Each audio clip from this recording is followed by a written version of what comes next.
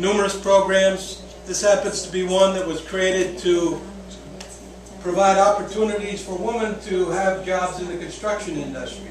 Some of the better paying jobs in our economy, but historically most of those jobs have been held by men.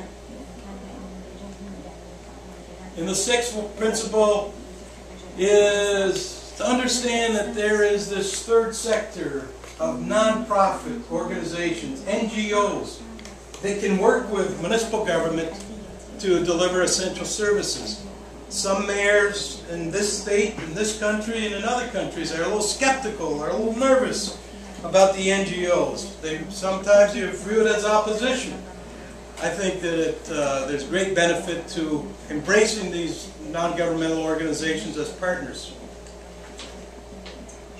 And one example is the creation of this nonprofit, which since its creation in 1984 has created 2,000 units, homes, for people to live in.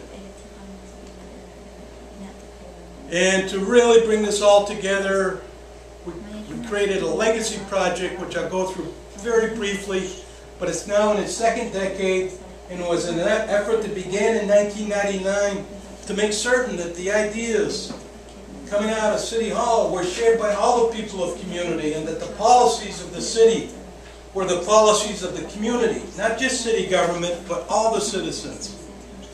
And so there was a process that went on for a year to gather input from the community. Many different ways, surveys, discussions, focus groups. Thousands of citizens participated.